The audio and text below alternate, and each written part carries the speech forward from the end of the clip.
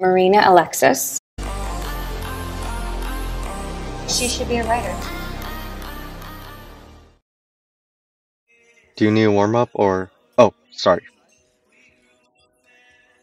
No, no, it's it's fine. I just um coffee's great. Okay. Um, maybe some company.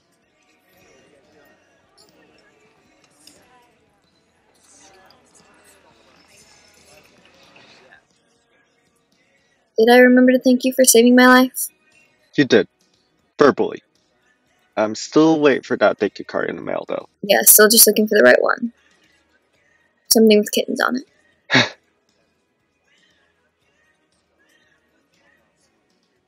I was only in that place for a few minutes.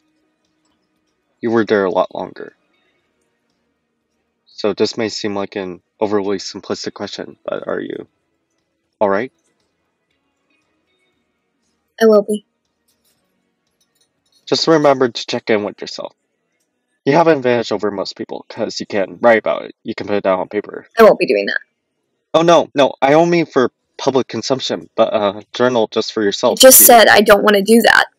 I don't want to own it. I don't want to memorialize it. I don't want to think about it being in a diary somewhere in my room. I want a nice big wall between before and after.